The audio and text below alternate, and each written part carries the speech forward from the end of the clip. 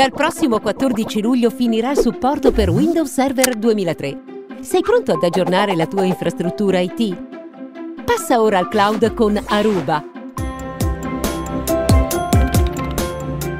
Vai su cloud.it e prova gratis i nostri servizi con la tecnologia Microsoft Hyper-V. Con Aruba passare al cloud è facile, rapido e conviene.